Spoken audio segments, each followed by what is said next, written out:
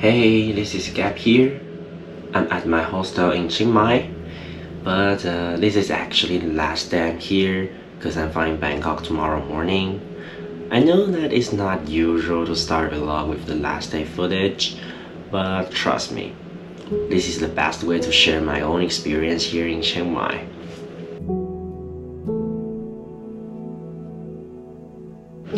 So after being picked up by my friend Viola and get settled down at the hostel, we rented a motorbike and tried to explore the old town of Chiang Mai. We went to lots of temples in the old town, and among those I think the Wat Chedi Luang was the most impressive one. There was a gigantic tower ruin that reminds me of the Angkor in Cambodia. I recall there, there was only one side of the floor of the tower that left for the elephant statues. And also the top of the tower was already half destroyed. But despite of all that things, I'm still surprised by the beauty of it.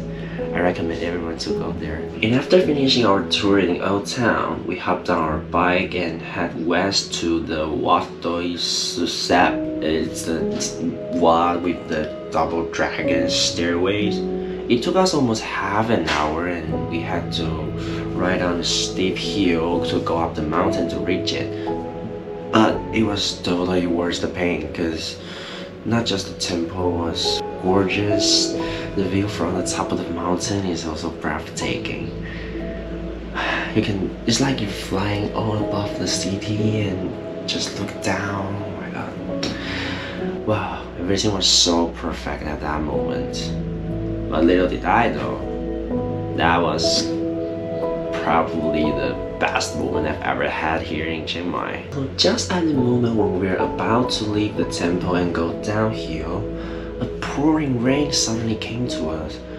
Well, we tried to avoid it, but obviously we failed and it was not the worst part. We tried to go down pretty carefully. We drove really slow and kept our eyes open, but we still had an accident. Well, it was at the straight way that close to the Singporish turn that we fall and slip away. Bill was fine except for her pants got destroyed. I got some light small injuries but it's not a big deal. Mm, the worst part is the bike was dead. It cannot be started. We freaked out and tried to call our hostel or the bike shop or something for help because we're in the middle of the mountain and the bike was our only hope to get down. But fortunately, there was a random guy who was I think he was jogging around the mountain and then he found us and they saved and he saved us by just kicking the engine of the motor which I think is the oldest way to start an engine well the engine got started and we successfully made it to the hostel and we get some rest well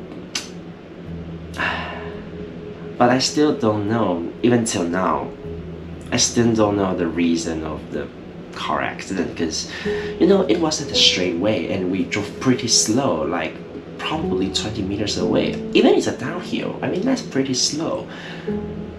And uh, I didn't even accelerate or pull brake and I didn't even turn so I don't know maybe it's because I accidentally or unconsciously did something disrespectful that piece of the Buddha and they try to punish me or for whatever reason it is, I, I still cannot understand.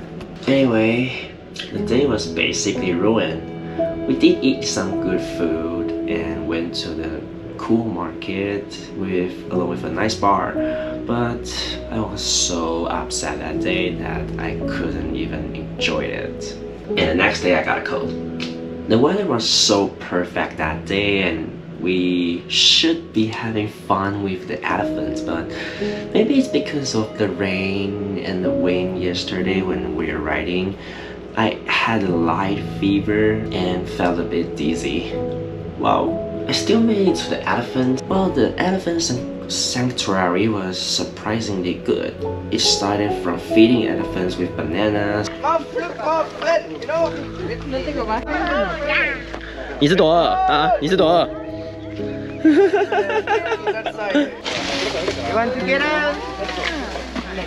摸起来粗粗的，很粗，然后有毛，然后很多土。 Then we made their vitamins or maybe some nutrition stuff and feed them again. And then we were trying to give them a bath. We had to use the long brushes to help because they were surprisingly huge. But they're super cute. And then we had fun together in the river and the mud. I even felt cured when I was in the river playing with the elephants. That's true, I mean, I didn't feel any dizziness or any heat comes out from my body at that moment. It was wonderful. But after that, fever worsened. I was going to have a good rest at the hostel, take some medicine, and maybe get some sleep. But the bike shop came and asked us to pay the damage of the vehicle. But they wrote everything in Thai, so we couldn't even know which part was damaged. So I asked him to come to my hostel and explain the things to me. It turns out that we made some long scars on the bike. I knew I need to pay something, but um, I still need a proof. The person from the bike shop came first without the damaged vehicle, so I asked him to bring it, and then he started to explain. They, he said that they give us a discount on every part damaged, but I just don't feel right without seeing the real price tag or the price list or like any proof of it. So I keep asking them about that. The staff from the hostel also tried to convince me that the price was reasonable.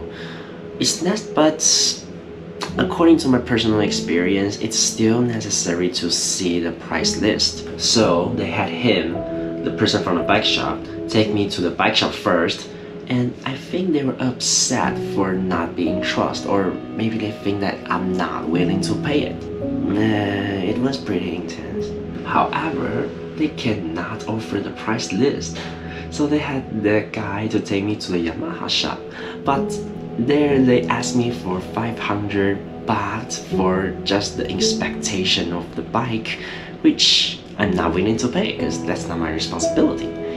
Well, fortunately, Name had a moment to answer the call and he explained lots of things to the bike guy and try to bargain a lot.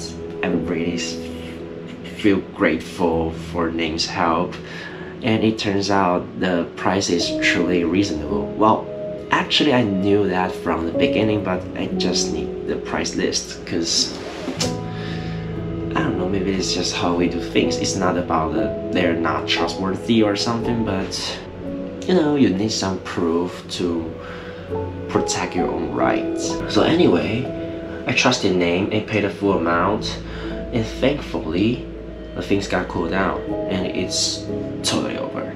I slept for like 12 hours that night, and the next day, which is today, I feel fine. Well, I still got some flu slash allergic-ish symptoms, but overall it was fine. The heat was gone, and I just got a little light coughs. So anyway, we finally had the time and chance to take a walk in the beautiful city of Chiang Mai after the two days like it's basically war. Our plan was to see more temples and maybe just roaming around the street. And that's the moment when my media mode was broken, which made it impossible to film any more clip because I didn't bring any batteries with me and the Volta just cannot charge my GoPro. Well, we still had fun that day. We saw two beautiful temples and at a good restaurant and went to the drag queen show.